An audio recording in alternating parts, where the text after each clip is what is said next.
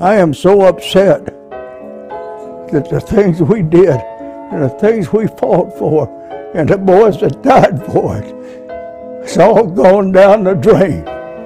Our country's gone to hell in a handbasket. That's not what our boys, that's not what they died for.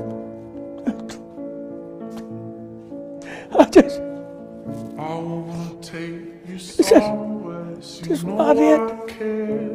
But it's so cold. I'm so sorry. I don't know where. oh I'll be all right.